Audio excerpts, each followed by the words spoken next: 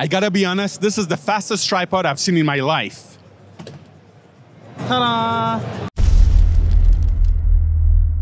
So everybody knows you as Potato Jet from YouTube, but Gene, you're you're now making tripods. Tell me a little bit about this. Yeah, so this is the Tribex, which is a tripod that SmallRig and I co-designed, and we've been working on it for a while. Essentially, it's to take care of the problem that we all face of running out of lights or someone showing up late, and now you have 20 minutes when you were supposed to have 40 minutes, or you know, you're just always behind schedule, and we always want more shots. So essentially, we just wanted to try to figure out how do we make the shot from shot transition as fast as and as smooth as possible. So yeah, basically we just put it all.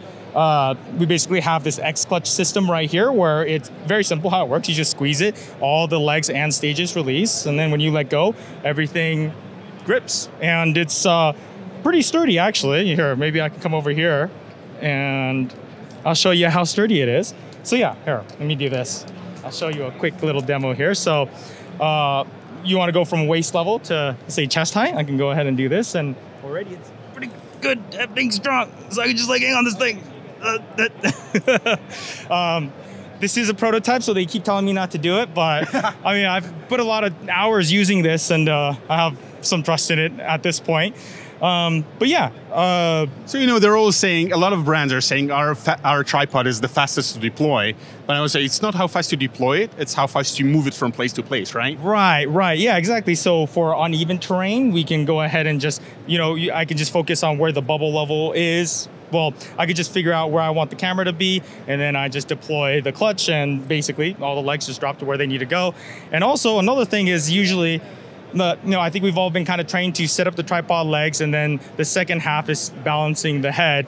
But here we had a lot of versions where we had uh, release up here to balance separately. But I've actually found that all those different things that we've tried for the balancing, actually just this, grabbing this clutch is just the fastest thing. So you know, even if it's unbalanced like this, uh, it's just faster to just grab the clutch and then just let go, level it out like that. So what we, we started to realize is after a little bit of practice, you get to the point where you actually set up the legs height at the same time you actually level out the camera. So then it actually really makes the whole process smooth. So yeah, exactly. From shot to shot, you can go from a low angle to a high angle, and then you know, like one of the good, like I feel like one example is inside of a vehicle. If you've ever tried to set up a tripod inside of a vehicle, it's like you got one, one, exactly. One needs to land on the seat, one needs to land on the floor, and they're all different lengths. But here, you just kind of hold it. Here, let me go ahead and compress this, and I'll show you. But but here I get to, like, but here it's actually pretty easy to, you know, hold it and just figure out mm, where do you want the camera angle. And once you find the right spot, you just grab it and all the legs release to where they need to go. You let go and you're set. So this is this is a change in the workflow, right? So instead of setting up the tripod where you kind of want it to go and then balancing out, you place the camera in a 3D dimensional space, then it automatically automatically uh, being stable on the tripod.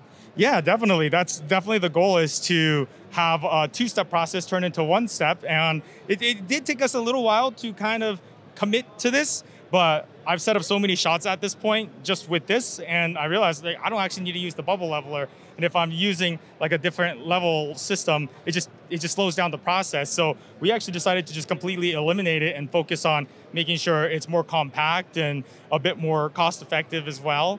And, and I'm this is a tiny tripod size-wise, but I'm seeing this is not a small mirrorless camera. So talk to me a little bit about capacities. Yeah, so when it came to the camera we wanted to put on here, that's kind of what we started our design with, and we really wanted to kind of embrace what the mid-sized cameras are capable of now. I'm going on pretty big shoots sometimes, and I just see a handful of FX6s or FX9s or FX3s rigged out, or you know C70s. There's so many great cameras now that are in this size, so we really wanted to like focus on the size of what compact professional cameras are now and really design it based on that size. But FX6 is totally comfortable. Like this is kind of the middle of where it feels comfortable, but of course rigged out FX3.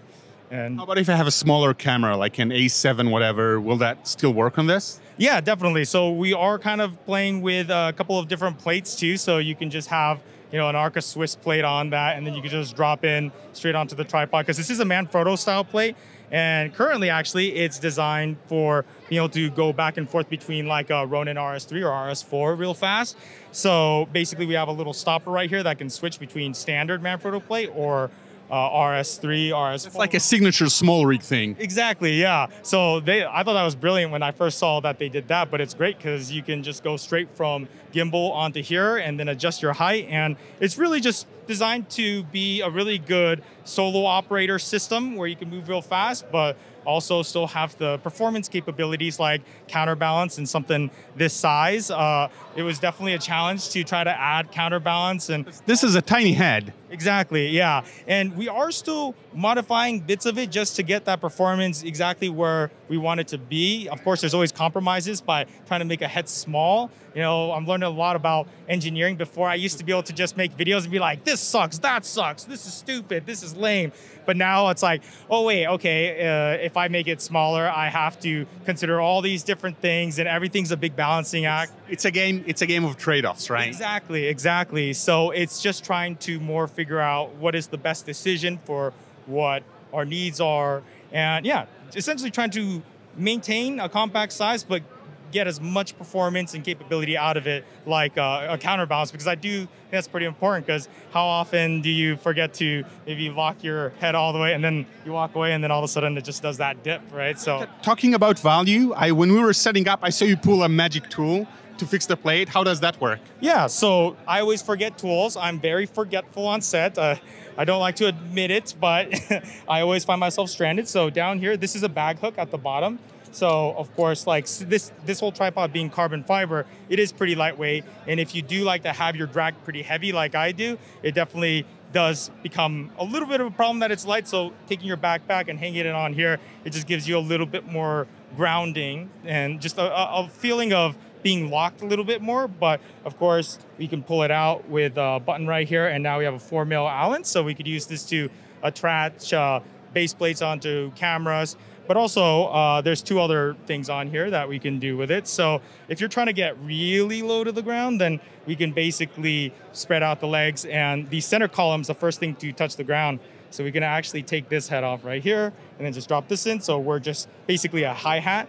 Um, so that's another and again, that's the same tool. And also, this is just a standard 3 8 size tripod head.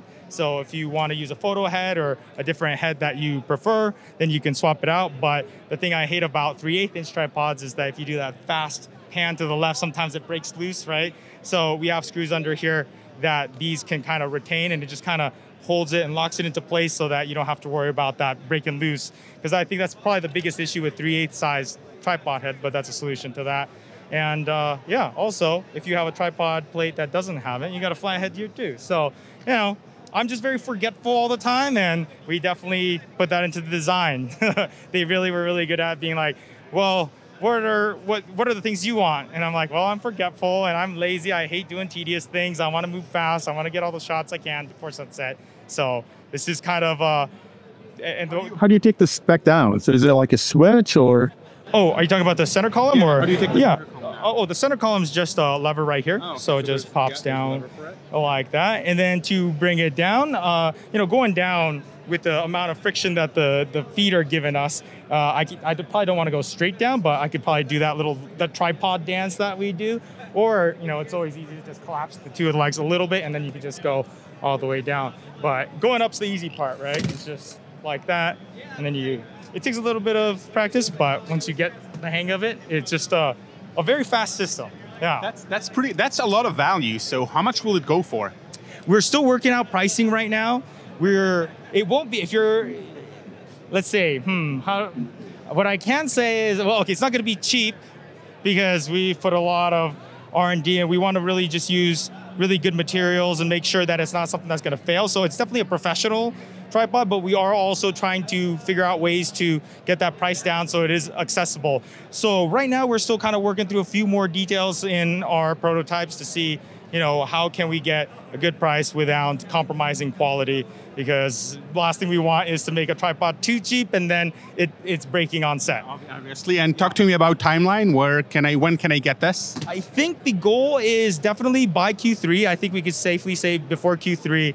Uh, I think we're aiming to probably launch around July, something in that range. But yeah, we'll we'll see. We're kind of just we're in the final stages, and it's kind of like you know doing the finishing touches on a video edit. You know, you're like, I think I'm close, but you until you fiddle with it enough. One, and, one more pass. Yeah, one more pass, one more pass, and then you're at V23, and it's like, oh, okay. But Final, final. yeah, Real final. We're at that stage, exactly. Final, final. Gene, thank you so much for showing me this tripod. I'm never seen something like this. I'm pretty excited. Um, so thank you so much. Thank you. Thanks for coming by. Stick around. We're going to keep walking the floor and give you more coverage from NAB. DIY photography out.